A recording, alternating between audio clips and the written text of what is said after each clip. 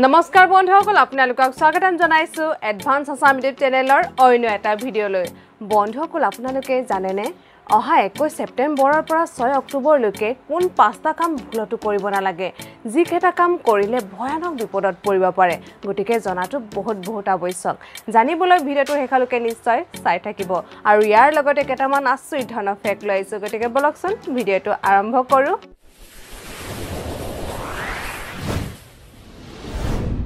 বন্ধুসকল যোৱাবাৰ আপোনালোকৰ বাবে আগবঢ়োৱা প্ৰশ্নটো হৈছে টকিঅ' অলিম্পিকত নীৰজ চোপ্ৰাই কি খেলত সোণৰ পদক অৰ্জন কৰিছিল? ইয়াৰ উত্তৰটো হৈছে জেভলিং থ্ৰ' যিসকলে অংশগ্ৰহণ কৰিছে তেওঁলোকক বহুত বহুত ধন্যবাদ। এতিয়া আজিৰ খণ্ডটো আৰম্ভ কৰোঁ।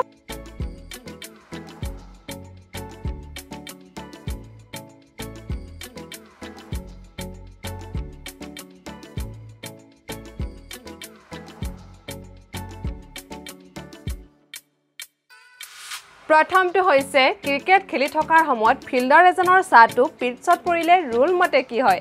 আপুনি জানেনে? জানে যদি মোৰ উত্তৰটো নোচোৱাৰ আগতে আপোনাৰ উত্তৰটো জনাবচোন। আৰু যদি নাজানে মইতো আছোৱেই জনাবলৈ কেৱল চাই থাকিব।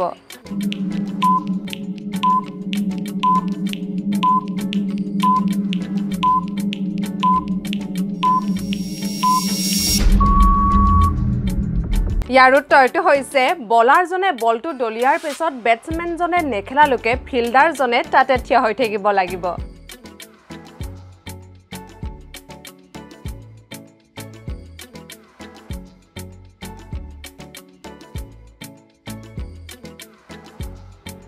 দ্বিতীয়টো হৈছে বন্ধুসকল আপোনালোকে এনে মানুহ দেখিছেনে যাৰ মুখমণ্ডলত কেৱল মুখখনহে আছে?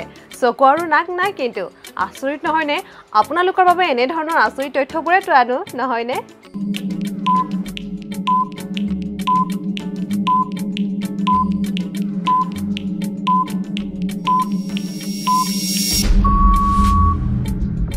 সেই মহিলাগৰাকীৰ নাম হৈছে আমিনা যাৰ বয়স হৈছে তেৰাশী বছৰ।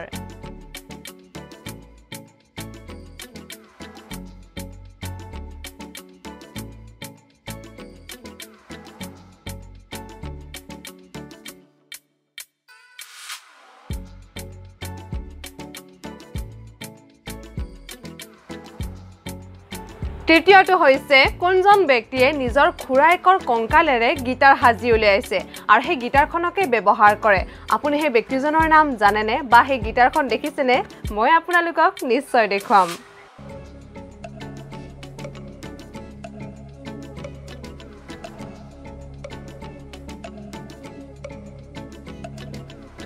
সেই ব্যক্তিজনৰ নাম হৈছে প্ৰিন্স মিড নাইট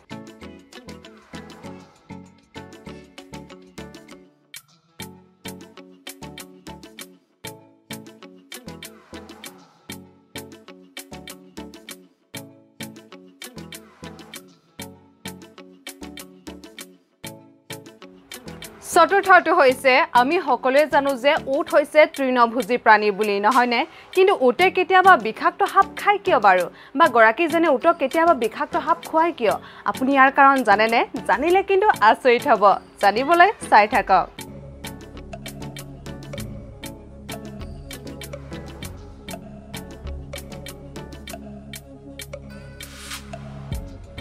উটৰ এনে এবিধ বেমাৰ আছে যিটো বেমাৰ হ'লে উটৰ শৰীৰত বিষ জমা হয় আৰু সেই বিষ নাইকিয়া কৰিবলৈ উটক বিষাক্ত সাপ খুৱাই দিয়া হয়।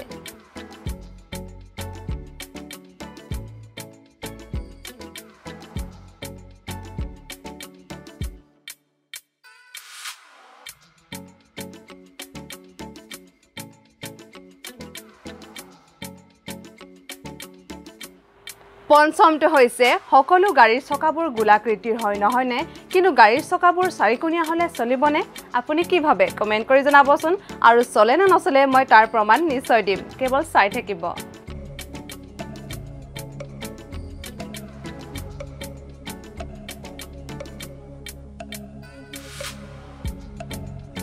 গাড়ী চাৰিকোণীয়া হ'লেও চলিব কিন্তু ভাইব্ৰেশ্যনৰ কাৰণে যাত্ৰীৰ হাড় পৰ্যন্ত ভাঙি যাব পাৰে আৰু বৃহৎ শব্দৰ বাবে যাত্ৰীৰ কাণ পৰ্যন্ত কলা হ'ব পাৰে। সেই দৃশ্য চাওকচোন।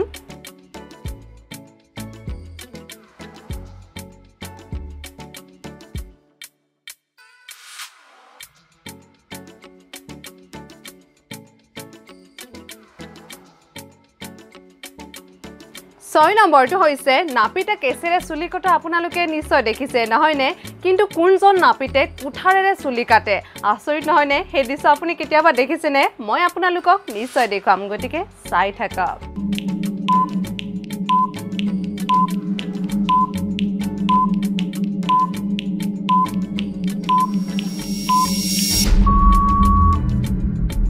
সেই নাপিতজনৰ নাম হৈছে ডেনিয়েল ষ্টমিন। চাইবেৰিয়াৰ চাওকচোন সেই দৃশ্য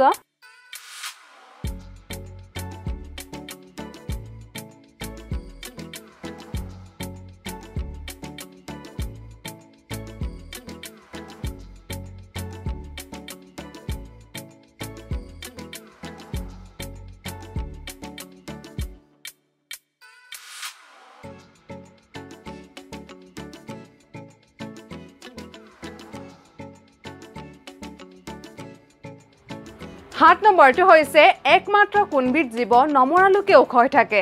আপুনি জানেনে? ভাবকচোন কোনবিধ জীৱ আৰু ভাবি কি পায় নিশ্চয় কমেণ্ট কৰি জনাব।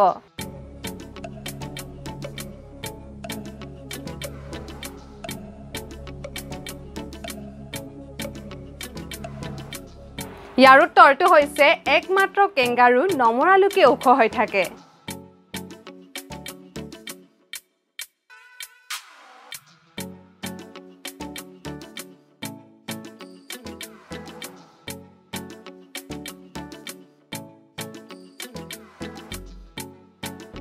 আঠ নম্বৰটো হৈছে কোনজনী যুৱতীয়ে নিজৰ জিভাৰে চলি থকা ফেনৰ পাংখা পৰ্যন্ত ৰখাই দিব পাৰে?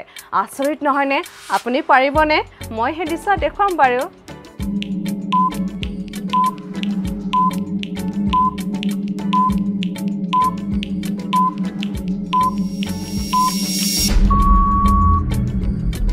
সেই যুৱতীগৰাকীৰ নাম হৈছে অষ্ট্ৰেলিয়াৰ জয়ে ইলিছ। চাওকচোন।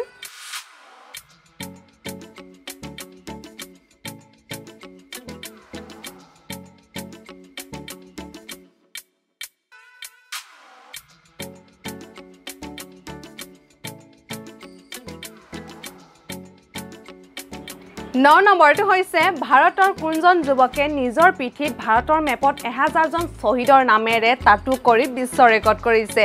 আপুনি জানেনে কোনজন ব্যক্তি? জানিবলৈ চাই থাকক। কিন্তু এতিয়ালৈকে যদি ভিডিঅ'টো লাইক আৰু শ্বেয়াৰ কৰা নাই প্লিজ কৰি দিব।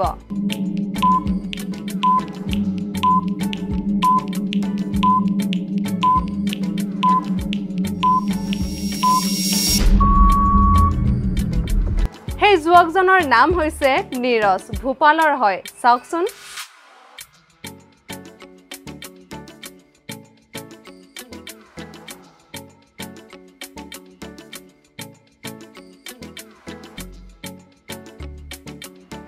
দহ নম্বৰ তথা অন্তিম প্ৰশ্নটো হৈছে বন্ধুসকল আপোনালোকে জানেনে অহা একৈছ ছেপ্টেম্বৰৰ পৰা ছয় অক্টোবৰলৈকে কোন পাঁচটা কাম ভুলতো কৰিব নালাগে? যিকেইটা কাম কৰিলে ভয়ানক বিপদত পৰিব পাৰে। গতিকে জনাটো বহুত বহুত আৱশ্যক। জানিবলৈ চাই থাকক। আৰু আপুনি যদি চেনেলটোত নতুনকৈ ভিজিট কৰিছে তেন্তে এনেধৰণৰ লাগতিয়াল তথ্যবোৰ পাই থাকিবৰ বাবে এই চেনেলটো নিশ্চয় ছাবস্ক্ৰাইব কৰি ল'ব।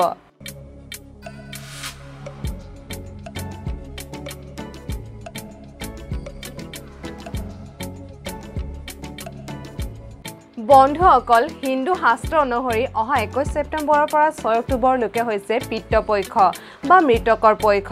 এই পোন্ধৰ দিনৰ ভিতৰত মৃত ব্যক্তিসকল বিভিন্ন ৰূপত নিজ নিজ ঘৰলৈ আগমন কৰে। আৰু শাস্ত্ৰ অনুসৰি মৃত ব্যক্তিসকলৰ আশীৰ্বাদ ভগৱানৰ আশীৰ্বাদতকৈ বেছি শক্তিশালী হয়।